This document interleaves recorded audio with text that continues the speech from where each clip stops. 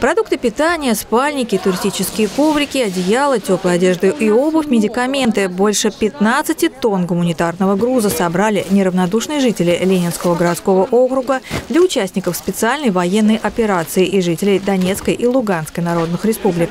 Мы сейчас активно работаем с предпринимателями на территории. Уже начали подключаться жители. У нас уже первая партия гуманитарного груза уехала. Мы взяли под шествие 42-ю мотострелковую дивизию.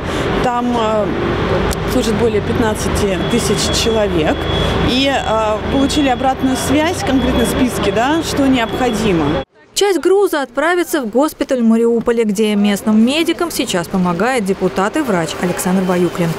В основном это лекарства, а также теплое одеяло, спальные мешки и горелки.